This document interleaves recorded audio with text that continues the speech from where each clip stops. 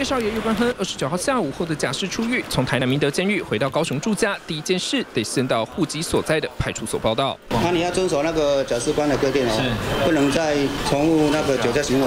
派出所所长耳提面命，要叶冠亨不准再酒驾，因为他四年前酒驾开车，以时速超过一百二十公里狂飙，失控撞车，害死同车友人及承运的李姓妇人。妇人丈夫三天后也猝死，留下当时年仅八岁的徐小妹妹。叶冠亨假释出狱之后，除了对家属道歉，也承诺将会支付徐小妹妹的学费，直到成年。我对于徐小妹妹，其实毕竟她父母是因为我的关系而不在她身边照顾她，我认为我这个责任和义务去协助她。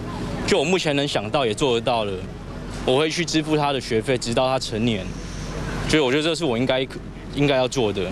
叶冠亨获得假释出狱，并承诺支付徐小妹的学费以及帮助其他被害家属。虽然试图展现悔改诚意，但被害家属面对这个让他们家破人亡的凶手，竟只关了短短三年又一个月就假释出狱，低调不愿多谈。什么事？